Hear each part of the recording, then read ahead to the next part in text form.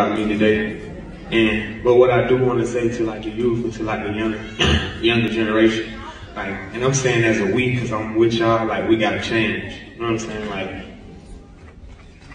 and and, and a lot of times when people talk, is more so like on the younger males. You know what I'm saying? But I'm, I'm like speaking for like the males and the females, cause like the females make the young males think this and that cool when it's not. So the young boys doing this and that prove it to the girls that they cool when all of it in the end is, is not cool. The same girls, they ain't gonna be with you, they gonna be with the ops when you go to jail.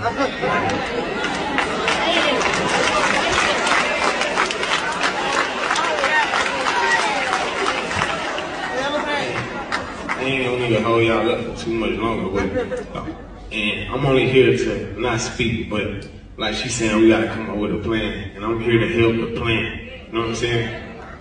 That's all I want to say.